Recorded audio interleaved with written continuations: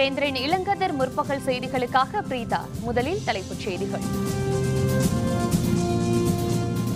மேட்டூர் அணையிலிருந்து தண்ணீர் திறப்பு அதிகரிப்பு. அணையில் வேகமாக குறைகிறது நீர்மட்டம். காவிரி பிரச்சனையில் தமிழகத்துக்கு மத்திய அரசு துரோகம் இழைக்காது. பொன் ராதாகிருஷ்ணன் உறுதி.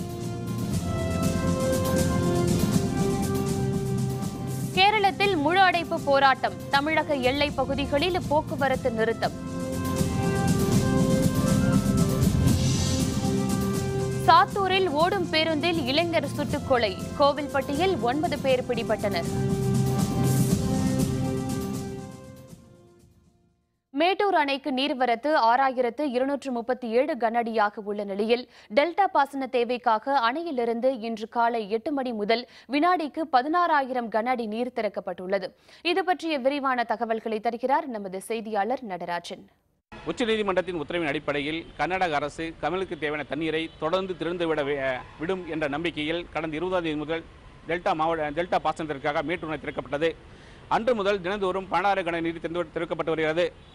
இதனால் அணை நீர்மட்டம் வேகமாக குறைந்து இந்த நிலையில் காவிரி உயர்மட்ட குழு கடந்த சில நாட்களாக மேட்டூர் மற்றும் டெல்டா மாவட்டங்களை பார்வையிட்டது. உயர்மட்ட குழு பார்வையிட்டதை அடுத்து கர்நாடக அரசு காவிரியில் மீண்டும் தண்ணீர் திறந்து திறந்துவிட்டது. இதனால் மேட்டூர் அணைக்கான நீர்வரத்து கடந்த சில நாட்களுக்காக உயர்ந்து வந்தது. இந்த நிலையில் மேட்டூர் அணைக்கான நீர்வரத்து இன்று ஆறாயிரத்தி இரநூத்தி முப்பத்தி ரெண்டு கனஅடியாக குறைந்தது. இருந்தாலும் மேட் டெல்டா பாசன விவசாய நலன் கருதியும் டெல்டா பாசன பகுதியில் நீர் தேவை அதிகரித்துள்ளதாகவும் அதிகரித்துள்ளதாகவும் இன்று காலை முதல் டெல் மேட்டூர் அணையிலிருந்து டெல்டா பாசனத்துக்காக பன்னெண்டாயிரம் கனடியிலிருந்து பதினாறாயிரம் கனடியாக உயர்த்தப்பட்டுள்ளது.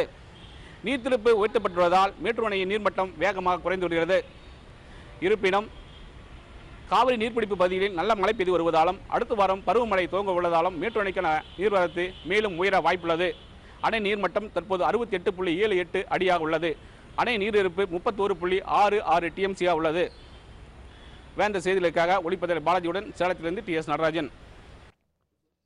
காவிரி நதிநீர் பிரச்சனையில் தமிழக விவசாயிகளின் நம்பிக்கைக்கு விரோதமான செயல்களில் மத்திய அரசு ஈடுபடாது என்று மத்திய அமைச்சர் பொன் ராதாகிருஷ்ணன் தெரிவித்துள்ளார்.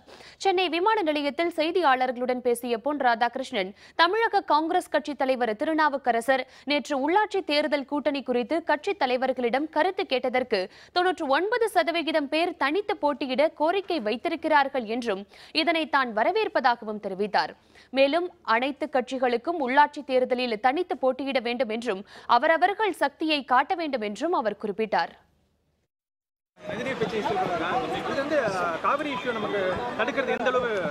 அதில் என்னென்ன அம்சங்கள் அமைந்திருக்குது அப்படிங்கிறத பார்க்கணும். எனக்கு நிச்சயமான நம்பிக்கை இருக்கிறது மத்திய அரசாங்கம் எந்த காரணத்தை கொண்டு தமிழக விவசாயிகளுடைய நன்மைக்கு விரோதமான விஷயங்களை செய்யாது என்று உறுதியான நம்பிக்கை கேரளத்தில் பாரதிய ஜனதா கட்சியை சேர்ந்தவர் படுகொலை செய்யப்பட்டதற்கு கண்டனம் தெரிவித்து பாரதிய ஜனதா கட்சியின் சார்பில் கேரளத்தில் இன்று முழு அடைப்பு போராட்டம் நடைபெற்று வருகிறது. கண்ணூர் மாவட்டத்தில் உள்ள பினராயி நகரில் நேற்று காலை பாரதிய ஜனதா கட்சியை சேர்ந்த ரமித் என்னும் இளைஞர் அடையாளம் தெரியாத சிலரால் வெட்டி கொலை செய்யப்பட்டார். இதனால் கண்ணூர் மாவட்டம் முழுவதும் பதற்றம் நிலவியது. ரமித் கொலைக்கு கடும் கண்டனம் தெரிவித்துள்ள கேரள மாநில பாரதிய ஜனதா கட்சி ரமித் கொலை செய்யப்பட்டதன் பின்னணியில் ஆளும் கட்சியான மார்க்சிய கம்யூனிஸ்ட் கட்சிக்கு தொடர்பு உள்ளதாக குற்றம் சாட்டியுள்ளது. இந்த நிலையில் ரமித் கொலைக்கு கண்டனம் தெரிவித்து கேரள மாநிலம் முழுவதும் முழு அடைப்பு போராட்டத்துக்கு பாரதிய ஜனதா கட்சி அழைப்பு விடுத்திருந்தது. இதனையடுத்து கடைகள் அடைக்கப்பட்டுள்ளன. பேருந்து உள்பட அனைத்து வகையான போக்குவரத்தும் பாதிக்கப்பட்டுள்ளது. அலுவலகங்கள் கடைகள் மூடப்பட்டுள்ளன. இதனால் இயல்பு வாழ்க்கை பாதிக்கப்பட்டுள்ளது. கேரளத்தில் முழு அடைப்பு போராட்டம் காரணமாக தமிழக பேருந்துகள் எல்லைப் பகுதிகளில் நிறுத்தப்பட்டுள்ளன. இதனால் பயணிகள் பெரும் அவதிக்கு ஆளாகியுள்ளனர். இது பற்றிய விரிவான தகவல்களை தருகிறார் நமது செய்தியாளர் ஆனந்த் ஜியோ. கேரள மாநிலம் கண்ணூர் மாவட்டம் பிரணாவி என்னும் இடத்தில் பாஜக நிர்வாகி ரமித் என்பவர் மர்ம நபர்களால் வெட்டி கொலை செய்யப்பட்டார். எனவே இந்த இவரை கொலை செய்த குற்றவாளிகளை கண்டுபிடிக்க வேண்டும் என்றும் மேலும் பாஜக மற்றும் இந்த இந்து முன்னணி நிர்வாகிகளுக்கு உரிய பாதுகாப்பு அளிக்க வேண்டும் என்பதனை வலியுறுத்தி பாஜகவினர் இன்று கேரள மாநிலம் முழுவதும் முழு அடைப்புக்கு கடை அடைப்பிற்கு அழைப்பு விடுத்திருந்தனர். அந்த வகையில் இன்று கேரள மாநிலம் முழுவதும் முழு கடையடைப்பு அனுசரிக்கப்பட்டு வருகிறது. நாகர்கோவிலிருந்து திருவனந்தபுரம் செல்லும் அனைத்து பேருந்துகளும் தமிழக கேரள எல்லையான களியக்காவிளையிலேயே நிறுத்தி வைக்கப்பட்டுள்ளன. கேரளாவிற்கு செல்லவிருந்த பயணிகள் அனைவரும் மற்றும் நாகர்கோவில் பேருந்து நிலையத்தில் அவதிக்கு ஆளாகியுள்ளனர். இங்கே வந்து பார்த்தீங்கன்னா நிறைய பேர் திருவனந்தபுரத்துக்கு போகிறதுக்காக நிறைய பேர் வந்து வெயிட் பண்ணிட்டு இருந்தாங்க. பட் திருவனந்தபுரத்துக்கு வண்டி போகல எல்லா வண்டியும் வந்து பார்த்தீங்கன்னா கலையக்காவலியோடய வந்து ஸ்டாப் பண்ணிட்டாங்க. அதனால் நிறைய பேர் ஏமாந்து எப்படி போகிறதுன்னு தெரியாமல் தவிச்சிட்டு இருக்காங்க. கேரளா திடீர்னு பஞ்சர் வச்சதுனால இங்கே எந்த பஸ்ஸுமே ஓடலை. நான் இப்போ பஸ் இல்லாமல் ஒன்று ட்ரெயினில் போகணும் இல்லை தனியார் பஸ்ஸோ டாக்ஸியோ பிடிச்சி போகிற மாதிரி தான் இருக்குது ரேட்டும் ரொம்ப அதிகமாக சொல்கிறாங்க பஸ்ஸும் இல்லை பயணிகள் ரொம்ப பாதிச்சிருக்காங்க. மேலும் இந்த போராட்டம் முடிந்த பின்னரே செல்ல முடியும் என்ற வேதனையுடன் உள்ளனர். வேந்த செய்திகளுக்காக வடசேரி பேருந்து நிலையத்திலிருந்து ஏ. ஆனந்த் ஜியோ. விருதுநகர் மாவட்டம் சாத்தூரில் நேற்று ஓடும் பேருந்தில் இளைஞர் ஒருவர் துப்பாக்கியால் சுட்டு கொலை செய்யப்பட்ட வழக்கில் ஒன்பது பேரை பிடித்து காவல்துறையினர் விசாரணை நடத்தி வருகின்றனர். கோவில்பட்டியைச் சேர்ந்த காந்தாரியின் மகன் கருப்பசாமி கோயம்புத்தூரில் உள்ள தனியார் நிறுவனத்தில் பணிபுரிந்த இவர் தொடர் விடுமுறையை ஒட்டி தனது ஊருக்கு வந்தார். விடுமுறை முடிந்தவுடன் கருப்பசாமி கோவை செல்வதற்காக நேற்று கோவில்பட்டியிலிருந்து அரசு பேருந்தில் பயணம் செய்தார். சாத்தூர் அருகே அந்த பேருந்து சென்று கொண்டிருந்த பொழுது கருப்பசாமியின் பின் இருக்கையில் அமர்ந்திருந்த அடையாளம் தெரியாத நபர் திடீரென்று துப்பாக்கியால் சுட்டார். இதில் படுகாயமடைந்த கருப்பசாமி உயிரிழந்தார். கொலை வழக்கு பதிவு செய்த விழுப்புரம் மாவட்ட காவல்துறையினர் கோவில்பட்டியில் சந்தேகத்திற்குரிய ஒன்பது பேரை பிடித்து தனிப்படை காவல்துறையினரிடம் விசாரணை மேற்கொண்டு வருகின்றனர்.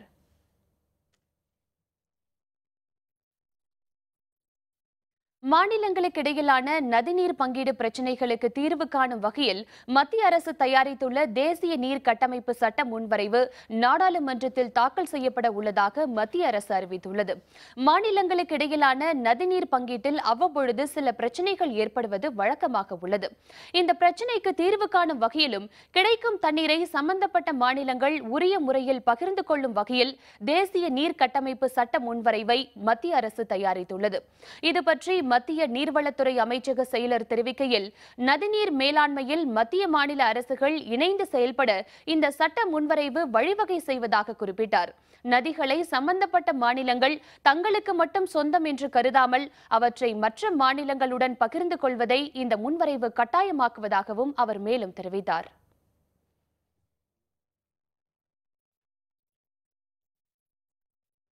கோவாவில் நாளை மறுநாள் தொடங்கவிருக்கும் பிரிக்ஸ் நாடுகளின் உச்சி மாநாட்டுக்கு தீவிரவாத அச்சுறுத்தல் அதிகரித்திருப்பதால் பாதுகாப்பு அதிகரிக்கப்பட்டுள்ளது.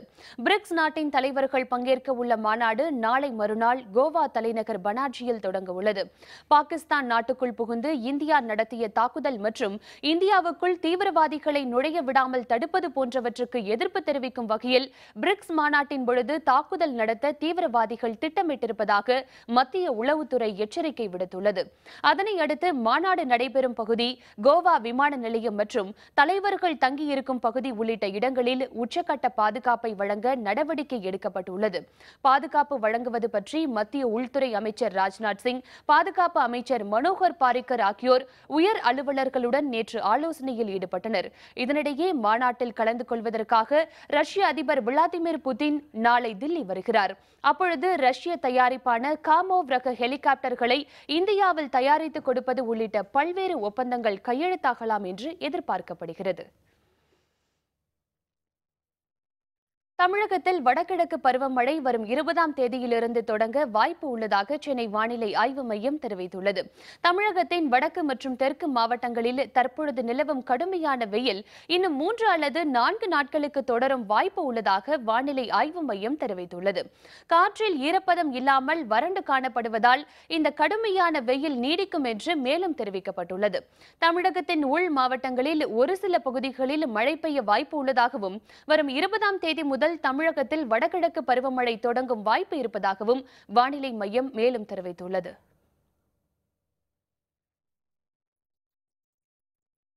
பெரம்பலூரில் பாசனத்திற்கு திறந்துவிடப்படாத அணை நீர் யாருக்கும் பயனின்றி வற்றி போன அவலம். விவரம் விளம்பர இடைவேளைக்கு பிறகு.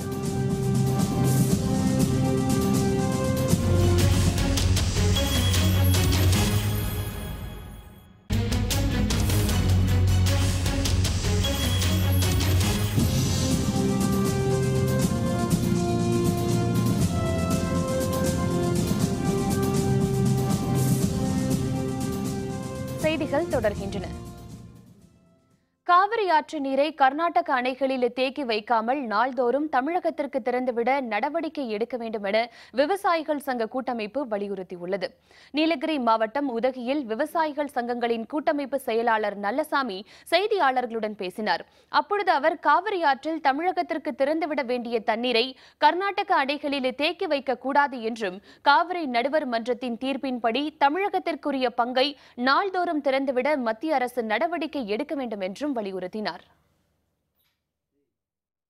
உண்டான தண்ணீரை கர்நாடக நீர்த்தேக்கங்களான ஹேமாவதி கபினி ஹேரங்கி கேஆர்எஸ் போன்ற அணைகளில் தேக்கி வைத்து அவர்கள் பாசனம் செய்து கொள்ள வேண்டும் பயன்படுத்திக் கொள்ள வேண்டும். தினசரி நீர் பங்கீடு என்பதை அமையவருக்கும் காவிரி மேலாண்மை வாரியம் நடைமுறைப்படுத்தினால் மட்டுமே காவிரி பிரச்சனைக்கு அது நிரந்தர தீர்வாக இருக்கும். இலங்கையில் உள்ள தமிழக மீனவர்களையும் அவர்களின் படகுகளையும் விடுவிக்க நடவடிக்கை எடுக்க வலியுறுத்தி ராமேஸ்வரம் மீனவர்கள் இன்று உண்ணாவிரத போராட்டத்தில் ஈடுபடுகின்றனர். இலங்கை சிறைகளில் அடைக்கப்பட்டிருக்கும் ஐந்து மீனவர்களையும் பறிமுதல் செய்த நூற்று பதினைந்து படகுகளையும் விடுவிக்க வலியுறுத்தி ராமேஸ்வரம் மீனவர்கள் ஏழாவது நாளாக இன்று வேலை நிறுத்த போராட்டத்தில் ஈடுபட்டு வருகின்றனர். இந்நிலையில் இலங்கை கடற்கரைகளில் நிறுத்தி வைக்கப்பட்டிருக்கும் தமிழக மீனவர்களின் படகுகள் மழை காரணமாக பாதிக்கப்படும் அபாயம் உள்ளதாக மீனவர்கள் கவலை தெரிவிக்கின்றனர். எனவே படகுகளை உடனடியாக விடுவிக்க வேண்டும் என்று வலியுறுத்தி இன்று உண்ணாவிரத போராட்டத்தில் ஈடுபட உள்ளனர்.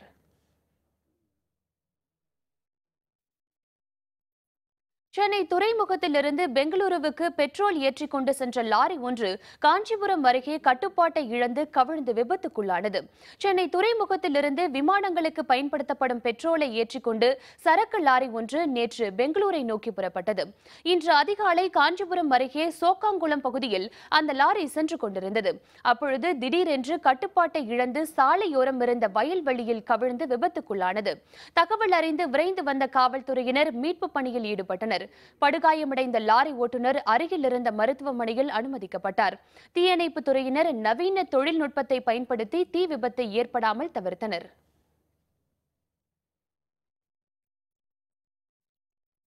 விழுப்புரம் மாவட்டம் கள்ளக்குறிச்சி அருகே சட்டத்திற்கு புறம்பாக அமைக்கப்பட்ட மின் மின்சாரம் தாக்கி ஐந்தாம் வகுப்பு மாணவர் உயிரிழந்தார்.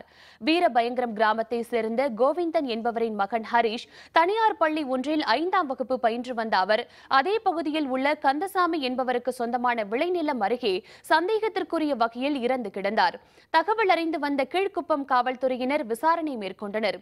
இதில் கந்தசாமி தனது விளைநிலத்தை சுற்றி சட்டத்திற்கு புறம்பாக மின்வேலி அமைத்திருந்ததும் அதிலிருந்த மின்சாரம் தாக்கி சிறுவன் உயிரிழந்ததும் தெரியவந்தது. இது தொடர்பாக காவல்துறையினர் வழக்கு பதிவு செய்து விசாரணை நடத்தி வருகின்றனர்.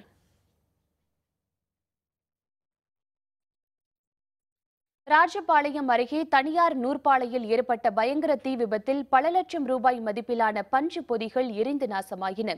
விருதுநகர் மாவட்டம் ராஜபாளையத்தை அடுத்த முதுக்குடியில் உள்ள தனியார் நூற்பாலையில் பஞ்சிலிருந்து நூல் தயாரிக்கப்பட்டு துணி ஆலைகளுக்கு அனுப்பி வைக்கப்படுகிறது. ஆலையின் பின்புறம் உள்ள கிடங்கில் பல லட்சம் ரூபாய் மதிப்பிலான பஞ்சு மூட்டைகள் வைக்கப்பட்டிருந்தன. அப்பகுதியில் நேற்று மதியம் திடீரென தீ பற்றியதில் அறை முழுவதும் பரவிய தீயால் பஞ்சு மூட்டைகள் அனைத்தும் எரிந்து நாசமாயின. தகவல் அறிந்து இரண்டு வாகனங்களில் வந்த ராஜபாளையம் தீயணைப்பு நிலைய அலுவலர்கள் தீயை கட்டுப்படுத்தும் பணியில் ஈடுபட்டனர். இந்த விபத்தில் பல லட்சம் ரூபாய் மதிப்பிலான பஞ்சு மூட்டைகள் எரிந்து நாசமாயின. நாமக்கல் அரசு பேருந்திற்குள் மழைநீர் கொட்டிக்கொண்டே இருந்ததால் பயணிகள் பெரும் சிரமத்திற்குள்ளாகினர். நாமக்கல் மற்றும் அதன் சுற்றுவட்டார பகுதிகளில் நேற்றிரவு பரவலாக மழை பெய்தது. மழைக்காலங்களில் அரசு பேருந்துகளின் நிலை கவலை அளிக்கும் வகையில் உள்ளன. நேற்று இரவு நாமக்கல்லிலிருந்து சிங்களாந்தபுரம் என்ற இருபத்தி மூன்றாம் எண் அரசு பேருந்திற்குள் மழைநீர் சிந்தியபடியே இருந்தது. இருக்கைகள் அனைத்தும் நனைந்துவிட்டன. இதனால் பயணிகள் அனைவரும் மைய பகுதிக்குள் நின்றபடி சிரமத்துடன் பயணம் செய்தனர். இதுபோன்ற மழைக்காலங்களில் பேருந்துகளை முறையாக பராமரிக்க வேண்டும் என்று பயணிகள் கோரிக்கை விடுத்தனர்.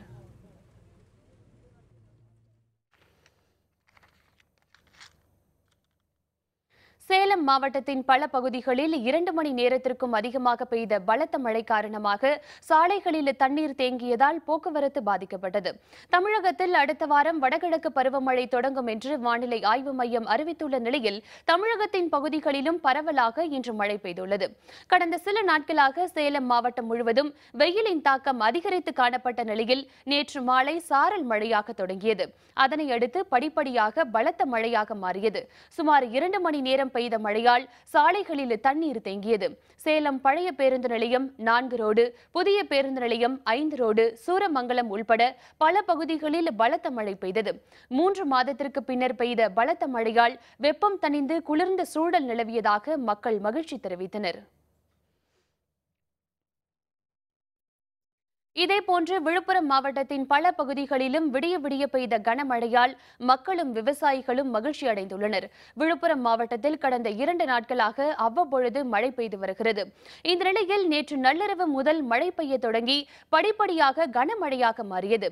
அதிகாலை வரை பெய்த மழையால் கடந்த சில நாட்களாக வாட்டி வதைத்த வெயிலின் கொடுமையிலிருந்து மக்களும் விவசாயிகளும் தப்பித்தனர். தொடர் விடுமுறை முடிந்து சொந்த ஊர்களுக்கு செல்வதற்காக விழுப்புரம் பேருந்து நிலையத்துக்கு வந்தவர்கள் மழை பெய்ததால் பாதிக்கப்பட்டனர்.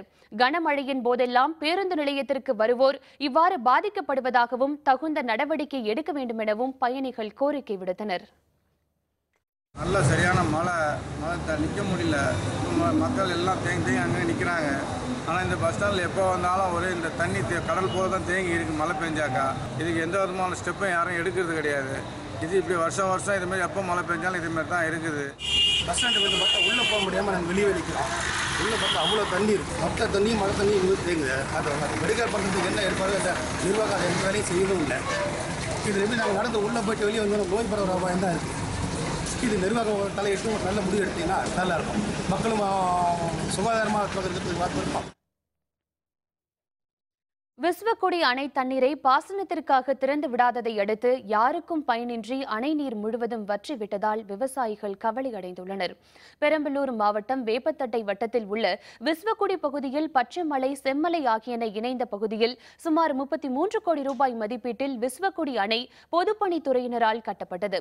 அணையில் நாற்பது புள்ளி ஆறு ஏழு மில்லியன் கன அடி தண்ணீரை தேக்கி வைக்க முடியும். கடந்த டிசம்பர் மாதம் பெய்த பலத்த மழையால் அணையில் இருபத்தி ஆறு புள்ளி ஐந்து மூன்று மில்லியன் கனஅடி தண்ணீர் தேக்கி வைக்கப்பட்டிருந்தது. பாசனத்திற்காக தண்ணீர் திறக்கப்படுவது பற்றி எந்த அறிவிப்பும் வெளியாகாததால் பாசன பகுதி விவசாயிகள் மானாவாரி பயிர் ரகங்களான மஞ்சள் மரவள்ளி ஆகியவற்றை மட்டுமே பயிர் செய்தனர். இந்நிலையில் பாசனத்துக்கு திறக்கப்படாத தண்ணீர் முழுவதும் யாருக்கும் பயனின்றி அணையிலேயே வற்றிவிட்டது. அதனை அடுத்து அப்பகுதி விவசாயிகள் வேதனை அடைந்துள்ளனர் நல்ல மழை பெஞ்சதுனாக்கா எங்களுக்கு நீங்கள் பயிர் பண்ணுங்கள் நாங்கள் தண்ணி திறந்து விடுறோம் அப்படின்னு சொல்லி ஒரு உறுதிமொழி கொடுத்தாங்கன்னா நாங்கள் பயிர் பண்ணுவோம். இல்லை அப்படின்னாக்கா இவங்களுக்கும் தண்ணி தண்ணியும் வற்றி போச்சு அவங்களுக்கும் பிரயோஜனப்படலை எங்களுக்கும் பிரயோஜனப்படலை. அதனால் எங்களை காப்பாற்றுறதுக்கு நீங்கள் இந்த முறையாவது தண்ணி திறந்து விடுற மாதிரி எங்களுக்கு ஒரு ஆவணம் செய்யுங்க. ஐஎஸ்எல் இன்றைய போட்டி சென்னை கோவா அணிகள் மோதல் விவரம் விளம்பர இடைவேளைக்கு பிறகு.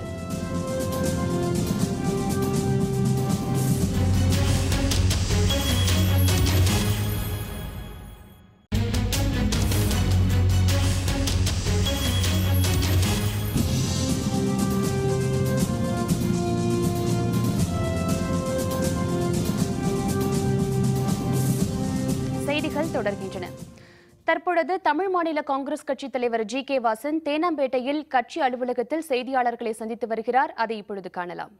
பழனி வாங்க. ராஜா இருந்தார். ஜிஆர் வெங்கடேஷ் இருந்தார் அங்கே.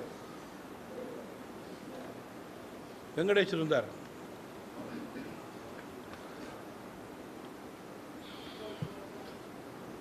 கரண்ட இரண்டு மாதங்களாகவே திருவள்ளூர் மாவட்டத்தில் டெங்கு காய்ச்சலால் தொடர்ந்து மக்கள் பாதிக்கப்படுகிறார்கள். பதினாறு பேர் உயிரிழந்திருக்கிறார்கள். மேலும் சென்னையில் மாணவர் ஒருவர் டெங்கு காய்ச்சலால் உயிரிழந்த செய்தியை நாம் பத்திரிகையிலாக படித்திருக்கிறோம். டெங்கு உட்பட மர்ம காய்ச்சல் வைரஸ் காய்ச்சல் போன்ற நோய்களை கட்டுப்படுத்த தமிழக சுகாதாரத்துறை போர்க்கால அடிப்படையிலே நடவடிக்கை எடுக்க வேண்டும் என்று கேட்டுக்கொள்ள விரும்புகிறேன். குறிப்பாக கொசு உற்பத்தியை தடுக்கும் வகையில் குப்பைகளை அகற்றி கழிவுநீர் தேங்காமல் இருப்பதற்கு கொசு மருந்துகளை தெருக்களிலே தெளிக்க வேண்டும். சாலை ஓரப்பகுதிகளை சுத்தமாக மாநகராட்சி வைத்திருக்க வேண்டும். ஆரம்ப சுகாதார நிலையம் முதல் அனைத்து அரசு மருத்துவமனைகளிலும் இதற்கு தேவையான மருத்துவர்களும் சரி மருந்துகளும் இருக்கக்கூடிய நிலையை ஏற்படுத்த வேண்டும். குறிப்பாக முன்னெச்சரிக்கை நடவடிக்கைகள் எடுப்பது அவசியம். மேலும் விழிப்புணர்வை இதற்கு அரசு ஏற்படுத்த வேண்டும் என்று நான் கேட்டுக்கொள்ள விரும்புகிறேன்.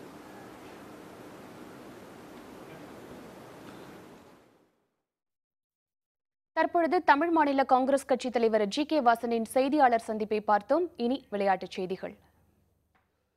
ஆஸ்திரேலியாவுக்கு எதிரான ஐந்தாவது ஒருநாள் கிரிக்கெட் போட்டியிலும் தென்னாப்பிரிக்க அணி வெற்றி பெற்றுள்ளது. தென்னாப்பிரிக்காவின் கேப் டவுனில் நடைபெற்ற இந்த போட்டியில் முதலில் விளையாடிய தென்னாப்பிரிக்க அணி எட்டு விக்கெட்டுகளை இழந்து முன்னூற்று இருபத்தி ஏழு ரன்களை எடுத்திருந்தது. தென்னாப்பிரிக்க அணி வீரர் ஆர் ஆர் ரோசோவ் அதிகபட்சமாக நூற்று இருபத்தி இரண்டு ரன்களை குவித்து அதிக ஸ்கோரை எட்ட வழிவகுத்தார். அதன் பின்னர் பேட்டிங் செய்த ஆஸ்திரேலிய அணியின் தொடக்க வீரர் வார்னரை தவிர அனைவரும் அடுத்தடுத்து அவுட் ஆகினர் வார்னர் மட்டும் நிலைத்து நின்று சதம் கடந்ததை அடுத்து நூற்று எழுபத்தி மூன்று ரன்களை எடுத்தார். அதனையடுத்து நாற்பத்தி எட்டு புள்ளி இரண்டு ஓவர்களில் அனைத்து விக்கெட்டுகளையும் இழந்த ஆஸ்திரேலியா இருநூற்று தொன்னூற்று ஆறு ரன்களை மட்டுமே எடுத்தது. தென்னாப்பிரிக்க பந்து வீச்சாளர்களில் இம்ரான் தாகிர் ரஃபாடா அபோட் ஆகியோர் தலா இரண்டு விக்கெட்டுகளை வீழ்த்தினர். முப்பத்தி ஓரு ரன்கள் வித்தியாசத்தில் தென்னாப்பிரிக்க அணி வெற்றி வாக்கை சூடியது. இந்த வெற்றி மூலம் ஐந்து பூஜ்ஜியம் என்ற புள்ளிகள் கணக்கில் ஒருநாள் போட்டித் தொடரை தென்னாப்பிரிக்கா கைப்பற்றியது. இந்தியன் சூப்பர் லீக் தொடரின் இன்றைய லீக் போட்டியில் சென்னை கோவா அணிகள் மோதுகின்றன. பனிரெண்டாவது லீக் ஆட்டத்தில் நடப்பு சாம்பியன் சென்னையின் எஃப்சி அணி எஃப்சி கோவா அணியை எதிர்கொள்கிறது. இந்த போட்டி சென்னை ஜவஹர்லால் நேரு திடலில் இன்று இரவு ஏழு மணிக்கு நடைபெற உள்ளது. மீண்டும் தலைப்புச் செய்திகள். மேட்டூர் அணையிலிருந்து தண்ணீர் திறப்பு அதிகரிப்பு அணையில் வேகமாக குறைகிறது நீர்மட்டம்.